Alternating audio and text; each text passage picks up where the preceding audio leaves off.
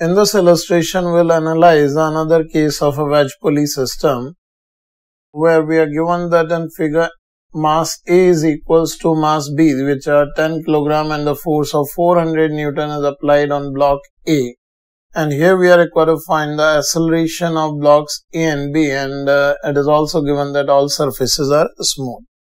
So here in solution we first distribute the forces uh, in this situation. Let's have a look on this picture.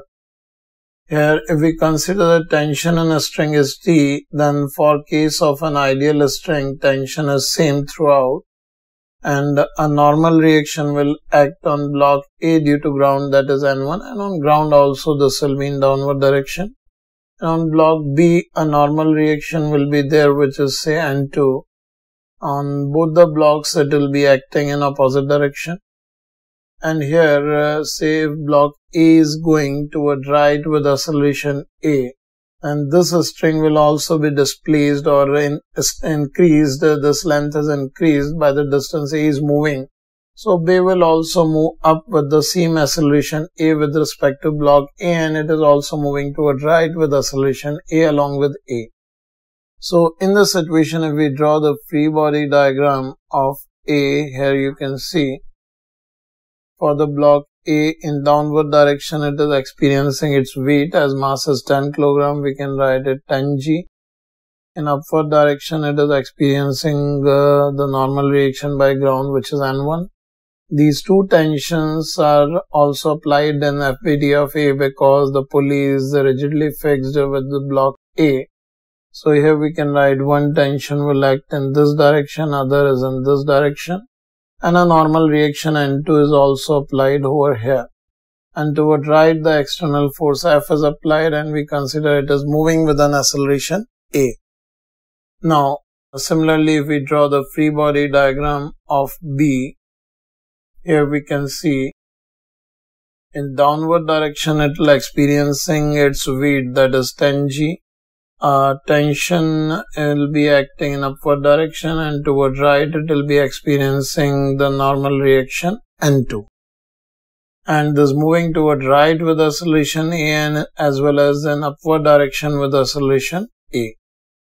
Now if we write the motion equations for the two blocks then for block A we can write here equation of motion as it is moving towards right. So this f minus n2 minus t is equals to 10a.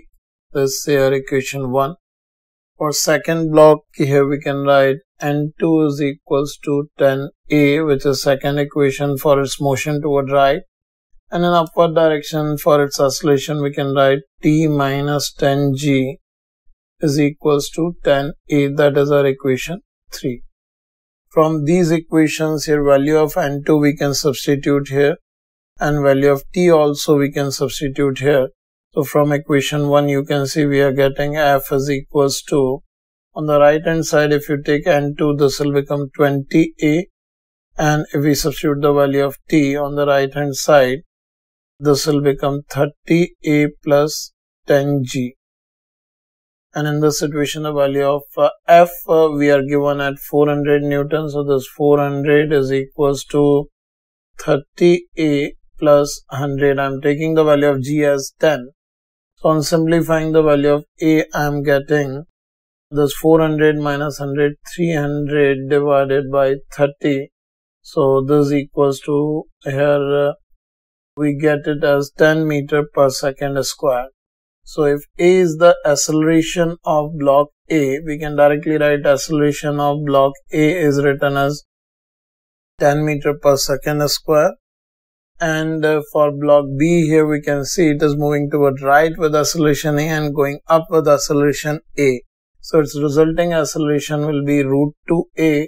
So this will be 10 root 2 meter per second square. So this is the final result of this problem.